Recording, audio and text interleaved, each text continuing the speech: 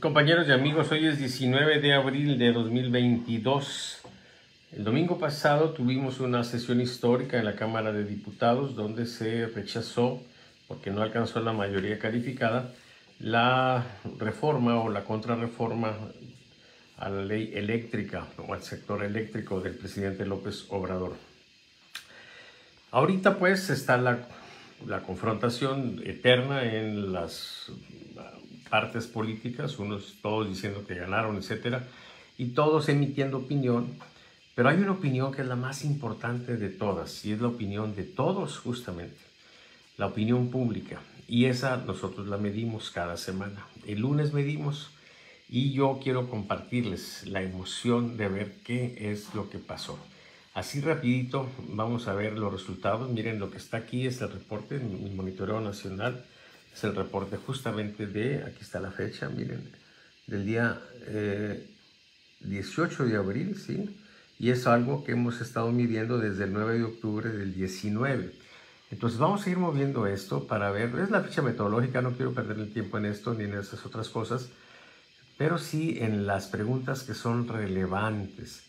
Miren, el, este es el asunto del principal problema, la inseguridad, así está, pero lo que interesa ahorita es saber qué pasó con el presidente López Obrador, la aprobación. Miren, aquí está. Eh, esta pregunta es sobre la aprobación del presidente y vamos a ver cómo se ha comportado en estos últimos días. Miren, el valor este último que obtuvo el presidente, eh, el de, el de lunes, más bien el de anoche, sí, fue 60.9%. Observen ustedes cómo lo que tenemos en la aprobación fue un deterioro este importante que surge cuando se da el fenómeno de la casa gris y luego termina aquí, se recupera un poquito en estas semanas. Este, mire, este, este fue hoy, el lunes pasado, o sea, hace una semana, hace dos semanas, hace tres semanas, ¿sí? Entonces, ¿qué es lo que tenemos ahora? Pues que no se ve que haya eh, el presidente ni avanzado, ni remontado, ni tampoco que se haya desplomado. Es, es, interesante, pues, o sea, como que un poco la gente, eh, o la muchacha, como me refiero yo, está a la expectativa. Miren, en la desaprobación, sin embargo, el valor que obtuvimos, sí, subió un poquito, pero no es de manera significativa. Para que sea un valor importante, se tienen que rebasar las líneas naranja para hablar de advertencia o roja. Entonces, eh, esta variación, aunque eh, algunos puedan pensar que es importante, en realidad no lo es. Vamos a ver otras cosas, ¿sí? Eh, la calificación, por ejemplo, del presidente, la calificación promedio. Vamos a ver. Bueno, pues aquí también se da el mismo fenómeno, donde él se recuperó después del desgaste de lo de la casa gris y luego, pues, está un poquito volviendo a, a estos valores y el impacto de estas dos semanas, es de la semana pues de la revocación y la de la Cámara de Diputados, en lo que se tradujo fue en una variación no significativa para el presidente. Entonces es interesante, el porcentaje de calificaciones bajas tampoco se afectó mucho. ¿sí? Realmente no hay cambios. Y el porcentaje de calificaciones altas pues sigue también es un valor pues que está a la baja, pero eh, está exactamente en el valor central. Entonces, ¿qué es lo que podemos decir, compañeros? Pues que este asunto, ¿sí? en el que estamos viendo a los actores políticos acusándose de traidores a la patria, acusándose de, una serie de cosas, sobre todo eso último, en el ánimo de la opinión pública, en el ánimo de la mayoría de los mexicanos o de todos los mexicanos, no ha tenido un impacto realmente relevante. ¿Qué quiere decir eso? Pues muchas cosas, ¿sí? Número uno, efectivamente que el presidente no se deteriora como consecuencia de esto, pero número dos, tampoco que se impulse, ¿sí? Eh, voy a hacer otro video para que no eh, los atiborres y vamos a ver cómo quedó o en qué se afectó esto en el ámbito político, ¿sí? en las variables propiamente políticas. Por lo pronto, en este primer video, en el tema de la popularidad o de la imagen del presidente, no pasó nada. Muy bien, compañeros, seguimos. Estamos este 19 de abril, que hoy cumpleaños mi niña, por supuesto, sí, la que hace todas estas cosas, la que las coordina, mi Paula. Eh, y, y, vámonos a la grilla, vámonos a lo político. ¿De qué manera se modificó esto? ¿sí?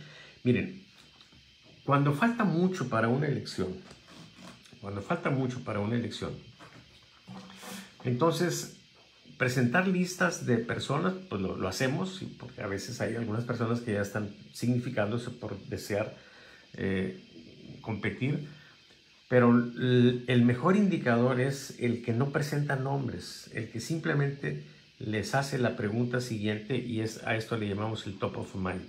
Miren, cuando se le pregunta a la gente de este modo, cuando se dice quién le gustaría que fuera el próximo presidente o presidenta de México.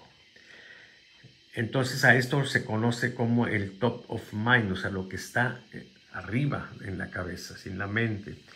Y aunque López Obrador no puede ser presidente, eh, dado que es una respuesta que nosotros obtenemos, son respuestas espontáneas, pues lo monitorizamos. Entonces, ¿cómo le fue al presidente? Vamos a ver este último día pues igual que en las otras cosas, o sea, no se afectó, no se modificó realmente importante, de manera importante. Vamos a ver a alguien más. Tatiana Cloutier. Miren, Tatiana Cloutier, pues prácticamente lo que tiene son puros ceros. ¿sí? De repente hay ahí algún piquito y pues ahora sacó un cero también. Entonces aquí con Tatiana no hay novedades. Marcelo Ebrard, que es uno de los personajes. Miren ustedes cómo Marcelo en estos últimos días ha estado un poco inestable o sea, de tener una alerta positiva acá, luego tiene una advertencia negativa. Esto es un comportamiento errático. Y ahora es un valor este que se acerca a la línea de advertencia positiva, pero no llega ahí. ¿Sí? Vamos a ver otros personajes. Fernández Noroña. ¿Sí? Bueno, Noroña, pues, de repente, si ustedes ven su historia, de repente tiene algunos piquitos, pero estos, estos últimos valores no hablan de nada espectacular. Lo importante aquí son las alertas positivas o las alertas negativas. Miren, este es el caso de Alfaro. Alfaro prácticamente tiene puros ceros, o sea, no, no, no, no lo tiene la gente en mente para la presidencia. Vamos a ver otro. Luis Donaldo Colosio. Miren, aquí sí tenemos una gran novedad. Si ustedes observan, vamos a amplificar esto.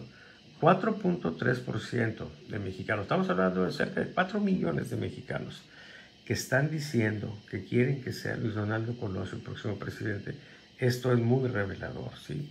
Si ustedes observan este valor, y nos vamos a la historia más acá, resulta que este valor que acabamos de obtener es el más alto de todos los que he obtenido, ¿sí? Ahora bien, nosotros tenemos este concepto que llamamos hipocentro, y aquí nos dice qué tipo de personas son las que están impulsando a Luis Donaldo Colosio, que lo traen en mente, sin pensionarle su nombre, es muy importante. Bueno, son gente soltera, gente que tiene entre 12 y 15 años de estudios, quienes tienen hasta preparatoria o técnica, quienes desaprueban la labor del presidente López Obrador. Eso es muy importante. Quiere decir que del modo en que se refleja la derrota, porque es una derrota del presidente este domingo pasado, es en que la gente está viendo ahora de manera más emocionada o más intensa a Luis Donaldo Colosio como una opción. Y las personas que tienen ingresos entre 5 mil y 8 mil 500 pesos.